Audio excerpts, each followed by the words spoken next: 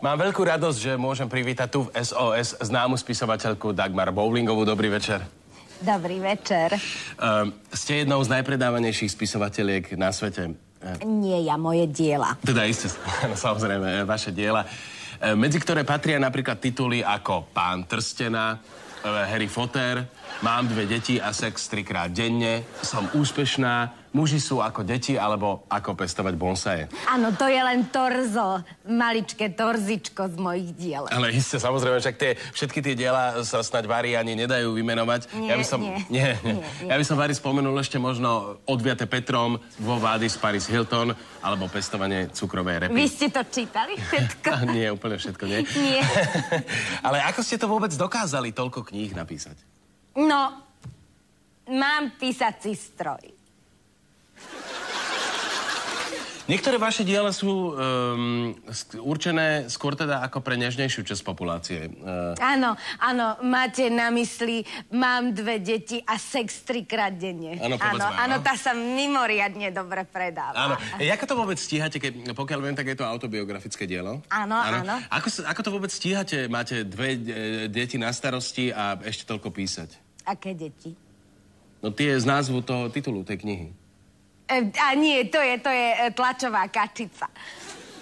Prepačte, vám nerozumiem. E, jednoduchá, vysvetlím vám to. Uh-huh.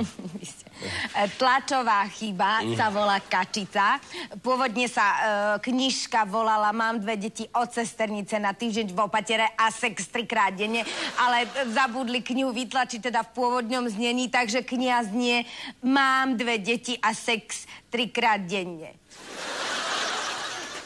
To znamená, že to je, uh, tá knižka je o čom?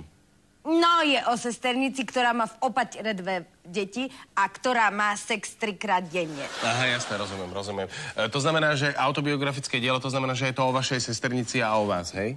Ja nemám sesternicu. No ale e, potom ako, ako je to možné, že to je autobiografické dielo, keď e, je to o No je to autobiografické dielo, veď som vám to povedala no, dobré, na začiatku. keď je to o sesternici a o vás a vy nemáte sesternicu, tak ako, ako to? Predáva sa do riti, predáva, tak čo?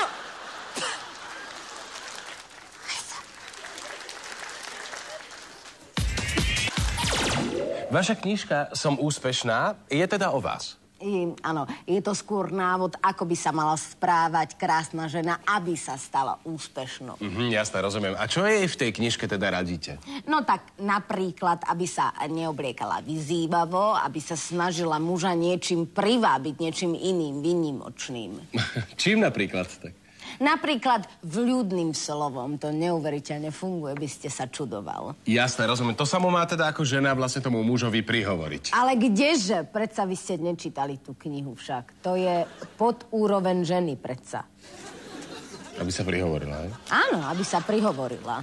No dobre, ale eh, ako si má potom žena privábiť muža v ľudným slovom, keď je, je, je pod jej úroveň, aby, aby sa mu prihovorila?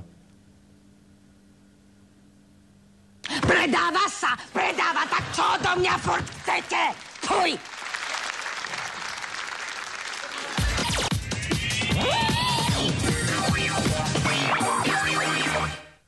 A knižka Muži sú ako deti? Áno, to je kniha určená pre ženy, ktoré si chcú chlapa omotať okolo prsta. Tak povedzte nejaké, nejakú stať, alebo napríklad niečo z tej knihy. No tak predstavte si napríklad, hej, uh-huh. žene sa páči muž, štandardná situácia.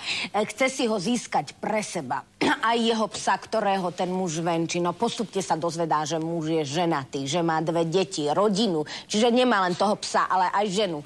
Žena, Milenka, má problém, ako ako získať muža, ktorého miluje. Čo urobiť preto, aby opustil decka a manželku? Aby sa mi tie decka a tá manželka nesrali do života. Tak nejak to je. je prepačte, ale to ako vy tam v tej knihe toto radíte? Iste. To vám nepríde divné? Čo? No tak ako predstavte si, že ste v koži tej manželky, nie?